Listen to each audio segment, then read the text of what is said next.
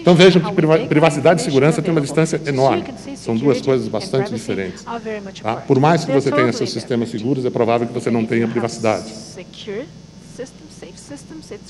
É, a outra discussão importante né, que aparece, uh, e o Sérgio mencionou vários aspectos disso na, na, na apresentação dele, é o balanceamento entre esse direito de privacidade que o indivíduo tem e os outros direitos e interesses que aparecem, particularmente o chamado interesse público ou interesse maior do Estado, ah, que é muitas vezes utilizado para dizer que é, é necessário fazer a coleta, é necessário fazer a, a supervisão e controle.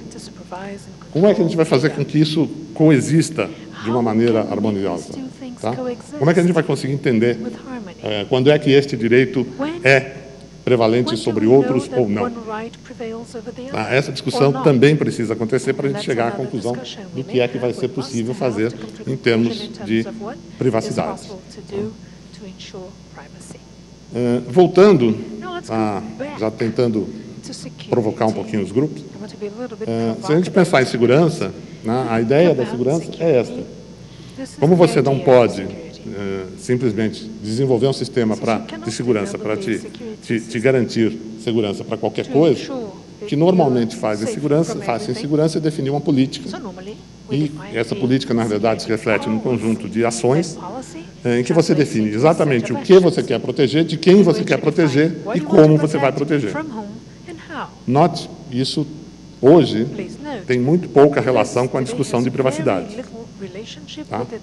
Ah, e essa ação, eu volto a dizer, é uma ação concreta uh, de especialidade de conhecimento técnico. Mais adiante eu vou voltar nesse ponto. Lembrem disso. Segurança, conhecimento técnico, ferramentas específicas, metodologias específicas, ações específicas. Tá? Uh, privacidade como eu disse, é algo muito mais intangível, muito mais difícil de resolver. Ah, não dá para usar um mecanismo ou um protocolo qualquer ou um, um, um, um sistema de segurança qualquer para garantir privacidade. Ela antes precisa estar garantida de uma outra forma, na consciência das pessoas, no entendimento da própria sociedade e nas leis que essa sociedade tem. Tá? Ah, então, esse é, é, é, um, é um desafio enorme que a gente tem pela frente. A discussão de privacidade provocada pela internet, eu acho que eh, vai revolucionar muitos dos conceitos que a gente tem sobre os direitos das pessoas eh, no mundo. E eu acho que isto é o que incomoda nesse momento a muitos governos.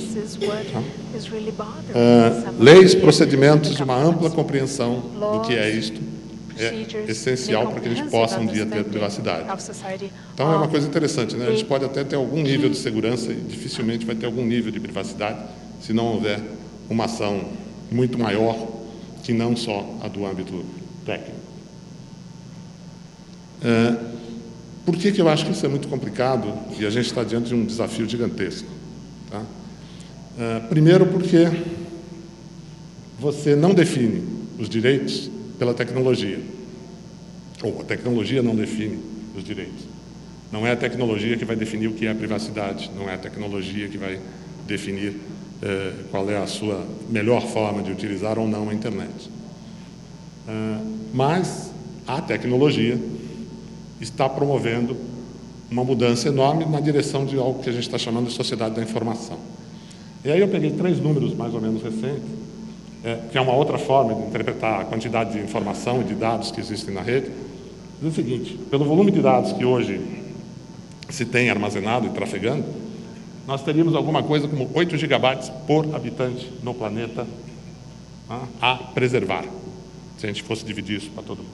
E a previsão para 2025, como está ali, né, é de umas, um, algumas centenas de terabytes. Então, o problema vai crescer exponencialmente. Tá?